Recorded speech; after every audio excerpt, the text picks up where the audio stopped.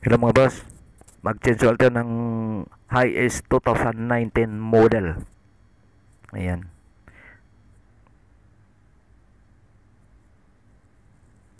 Yan yung engine ng 2019 model na Hi-Ace.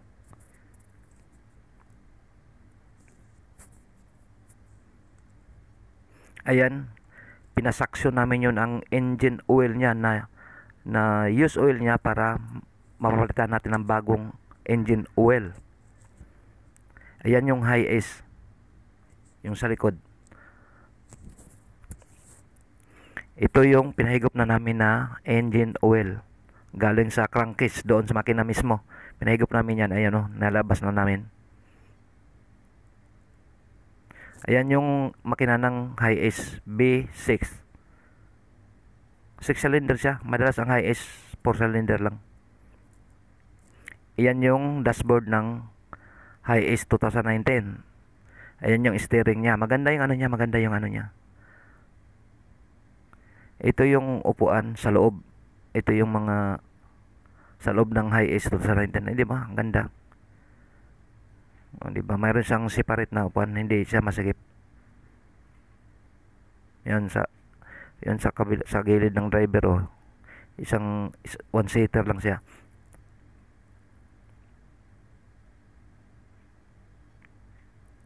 Ano siya uh, manual? Yan. Yan oh, kita mo 2019 year model niya high ace.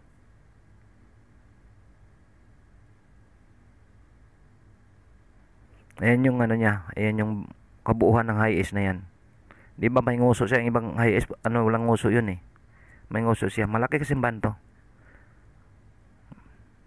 maganda sa biyahe may scars yun. Yun maganda to. Sakyan. Komportable ang ano mo dito.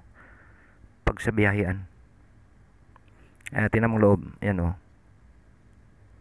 yan. Ang loob ng Hi-S 2019 yan yung ano dashboard. Oh, tinan mo. Di ba? May one seater lang siya. Two seater yung kabila. Hindi yung ang ganda pang ano niya. Maganda siya komportable ka to sumakay makakatulog ka pa. Ano yan? Folding yung ano yan upuan na yan folding pwede mo siya pahigain.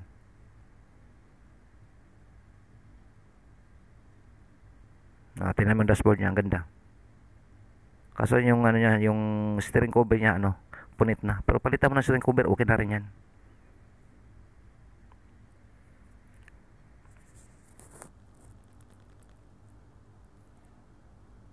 Yan yung air cleaner niya Ayan yung oil filter niya. Ang oil filter kasi nito ano, element element type. Ayan yung drain plug. Para diyan patagasin ang engine oil niya. Ayan, lagyan namin ng ano siya tubo. Isalpak mo siyang tubo na yan para tatagas yung laman ng ano niya, yung pundo ng pundo ng langis niya diyan sa ano sa oil filter uh, housing. Eh, kita mo, nakuha namin na engine oil niya, 5 liters. Yan o, 5 liters yan o. Lagpas sa 5 liters yan. Na-drain namin. Tingnan mo, may tubo siya. Suot mo lang siya dyan. Tapos tatagas niyo ano. Ayan yung pansuot namin na, na plastic. Para pantanggal dun sa pundo na langis dun sa sa oil filter housing.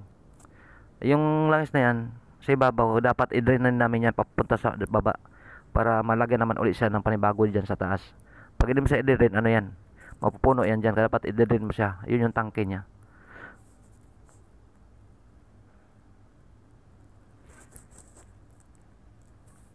Ito yung oil filter niya ginagamit. Element type. 04152 YZZ D1 ito yung element niya pang 2019 yan o oh oil filter niya. Pang 2019 uh, oil filter element type. Ang langis niya dito ay magagamit, pakagamit ka dito ng 6 liters. Yan, i-drain na namin yung ano, sa drain plug na ano, ng ano niya, ng makina, yung drain plug niya yun, no, pinatagas. Sobra na yun ang pahigop na hindi, hindi naman lahat kasi nahigop yun. Dapat magbukas ka rin pala sa ano, sa oil pan niya. Kita mo, konti lang ngayon, no Tapos na agad yan.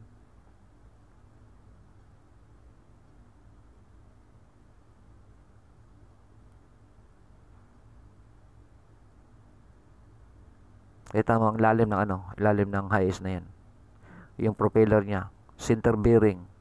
Ilang center bearing? Dalawa. Di ba mahaba siya? Dalawang center bearing niya eh. Madalas sa high isa lang center bearing yan. Kita mo, pinatagas pa rin namin yung langis sa, mula sa crankcase niya. Sa oil pan niya. Konti-konti.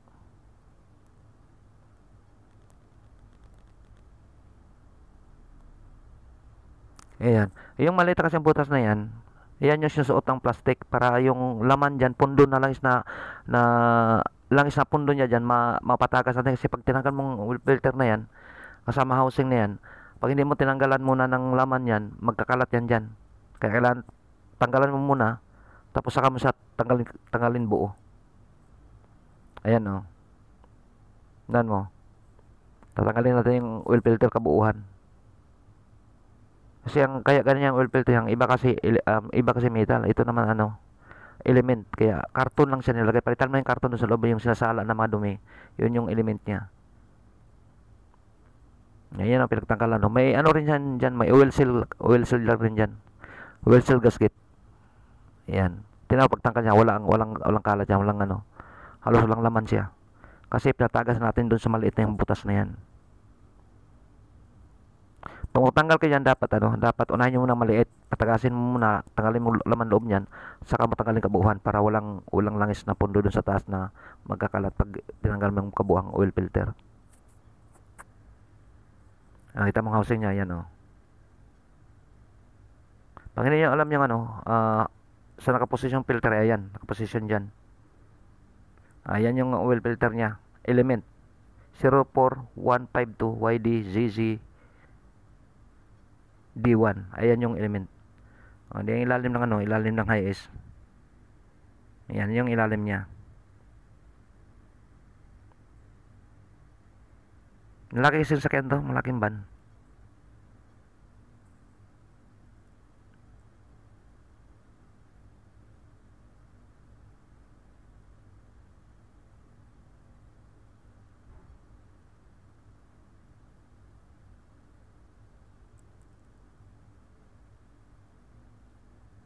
Ayan yung ano niya, ayan yung housing ng oil filter.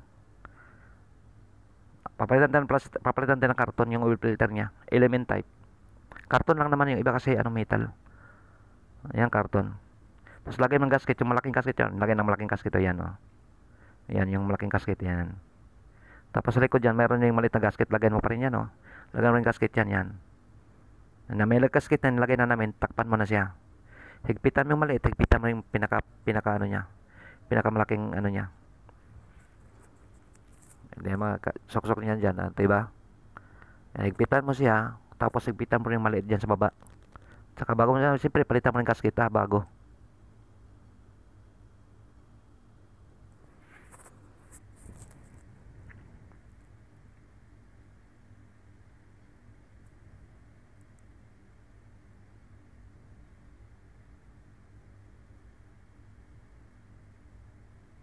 Yan, nakakabit na. Higpitan mo na, hinigpitan maliit, oh. Ayan. Tapos natin kinabit yung oil filter. Pinagdan natin oil, oil filter element, element type. Langis na tayo. Ah, langis simple lang naman lang siya kakabitan, oh. oh. Takpan natin.